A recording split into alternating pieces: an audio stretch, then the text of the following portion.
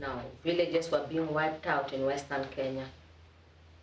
AIDS, that is a place where you step into the village and you see, yes, AIDS has been here. The British government brought um, 188 million dollars to Kenya, and they wanted a project to be run on HIV/AIDS in Western Kenya.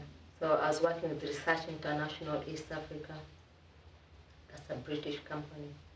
This money didn't go to the government; it went to my company, and they were saying that's because of me. That's why they wanted me to come get employed with the government, get a very big office just for the money to come to them.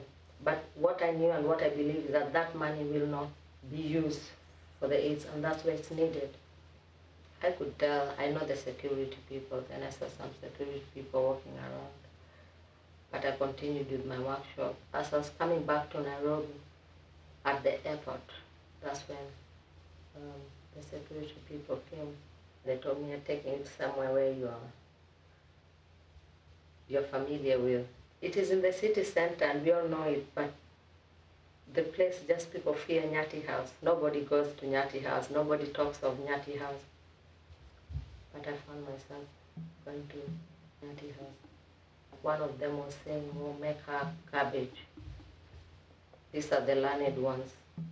Make sure you don't leave any marks on her. You see, but to crush my brains, you know, to make me like a garbage. We have a church nearby, and there is a bell that rings. I was trying to keep track of time with that bell, but after some times I lost track. I poured very cold water. This cold water, when it hits you, you feel like there's a sharp knife cutting you or something like that. They put for me electric shocks on my feet. These people who do these things are not human beings. They cannot measure the extent of what they're trying to do. So it keeps on coming back to me like my brains are not working fine. They wanted to release me the, that following Sunday morning, but my eyes could not see. I could not tell anybody, and I believed I would die if I tell anybody. Just the way the people have done me. I don't know what they do that you believe them.